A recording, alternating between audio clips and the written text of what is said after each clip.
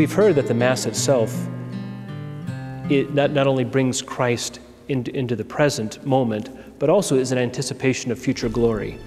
And to see that more clearly, what we want to do is we want to kind of take a step back and to see the original Eucharist. The original Eucharist, we come from the word, that, that Greek word of thanksgiving. The original Eucharist is the eternal Son's Eucharist to the Father.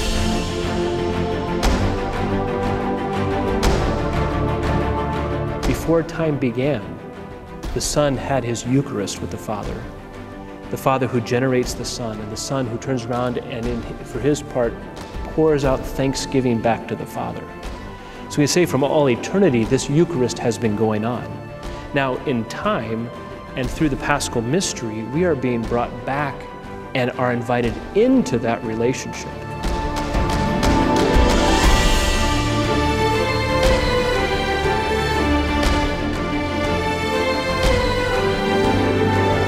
And so when, when we are participating at the Mass, we're already beginning to get a taste of that, of what it, what's it like to live in the sonship of Jesus Christ.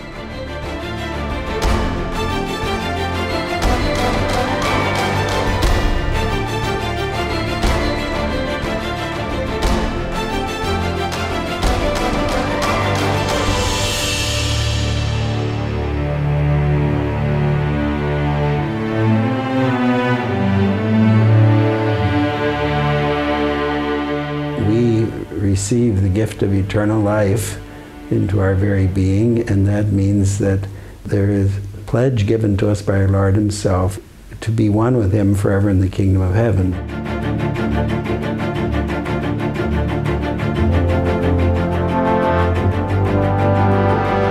That means having the privilege of standing within the Trinity with the Son, the incarnate Son, who has become one of us, who has never left the Father's side.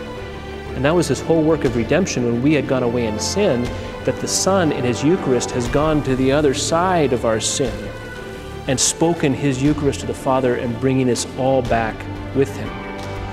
And, and in the Mass, we're, we're getting the, the foretaste of that glory of heaven.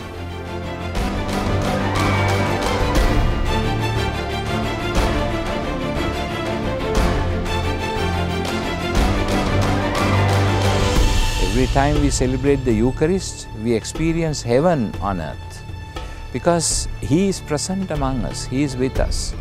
His eternal being is close to us, shares our life, and therefore we already experience the eternal existence for which we are called. If we are truly in intimacy with Him, then already here on earth we experience the taste of heaven. And that is what is most beautiful in the Eucharist.